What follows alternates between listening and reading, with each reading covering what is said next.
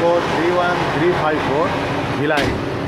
This logo is well decorated and group family are kept, and also for CLI there is one additional seat for CLI. They are in waterless urinal, which is very nice for ladies group and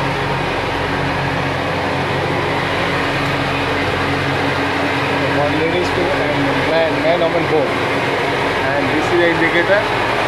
Also, in uh, Loco, they arrange water purifier for drinking water. And this was kept in cab 2 in driver side locker. This is a purifier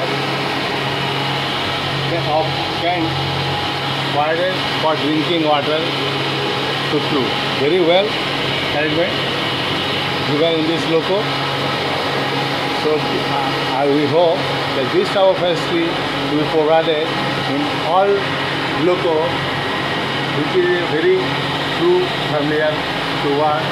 Only AC is not provided in this loco. If AC is provided then also it is very very good and for signal exchange required a signal lamp. So this type of loco is required. This is type of facility required in all loco for good output taken by the crew.